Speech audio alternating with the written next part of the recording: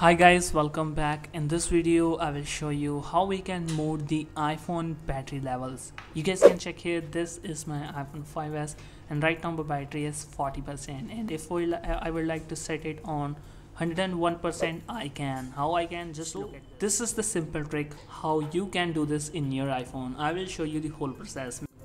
If you're finding value here, consider subscribing to my channel. So let's start without any problem. Let's proceed you guys can check here. This is my iphone 5s this is not the se you can do this method or you can do this trick in any iphone.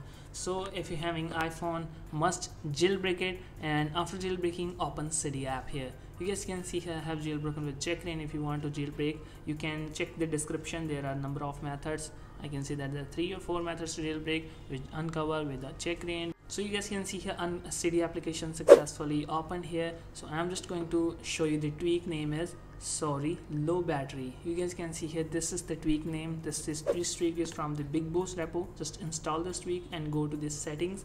And you guys can see here this tweak will available in my settings of my iphone.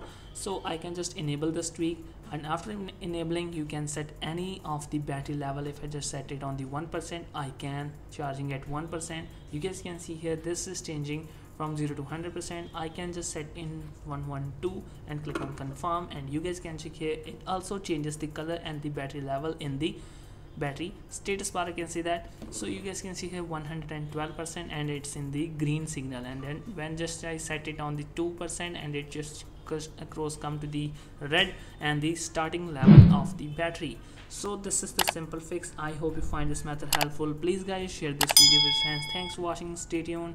Thank you